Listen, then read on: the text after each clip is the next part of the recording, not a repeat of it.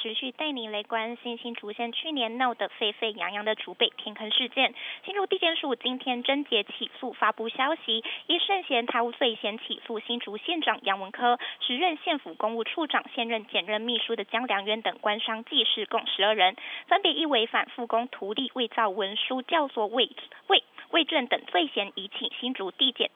从重量刑，新竹县新北丰采五二零建案，从二零二二年开始，累计多达八次的坍方事件，其中以去年四月二十七号一台特斯拉掉入天坑中最受瞩目。期间县府虽然成立了专案小组调查坍塌的原因，但检方指出杨文科受到建商所托，涉嫌指示下属包庇放水复工申请而遭到起诉，多达两百七十七页的起诉书中。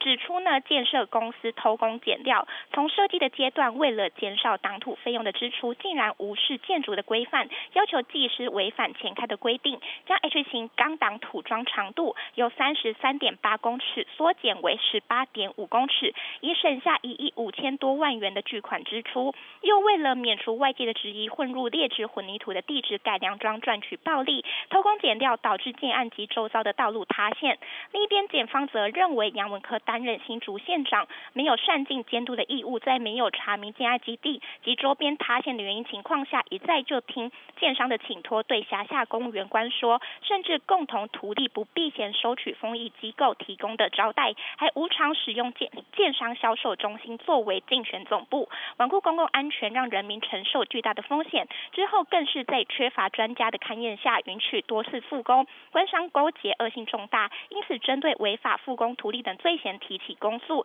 请求法官从重量刑，并没收不法所得二点五亿元。而消息传出后，杨文科相当低调，由秘秘书代为接听电话，表示县长人不在办公室，有关起诉的内容正由新闻处调查了解中，稍后会再对外说明。